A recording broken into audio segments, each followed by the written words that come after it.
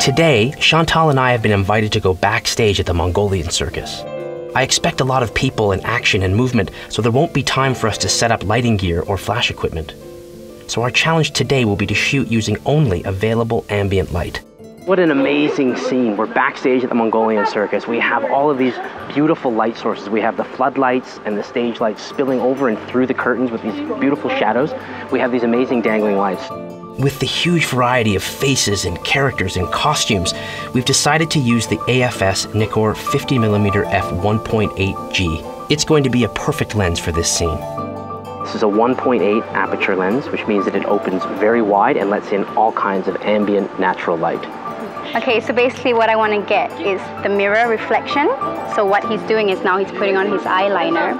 I want to get the reflection in. Definitely. Just be careful not to get yourself in the reflection, but yeah, it'd be perfect. So let's go, let's do it. Okay. You want to make sure that you're focusing off of his eye in the mirror, off of his face in the mirror. I'm watching out for the light as well.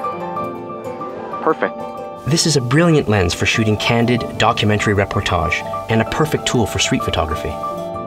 Wow, look, this scene is unbelievable back here. I'd recommend putting our cameras to aperture priority and then opening up our f-stop to f1.8. And when we shoot with this lens wide open, it will render a really beautiful natural background blur, which will make our performers pop right out of the background.